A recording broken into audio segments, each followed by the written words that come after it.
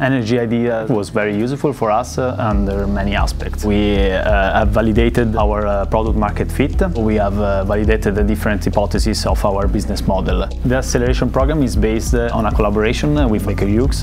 This is uh, the, the key differentiator uh, with respect to other different programs and uh, we learn a lot uh, from this uh, unfair advantage, let's say. We had the, occasion uh, to see with our own eyes uh, how the production plan of Baker Hughes works, how corporate mindset works, and of course how an organization as Baker Hughes works and how it is organized.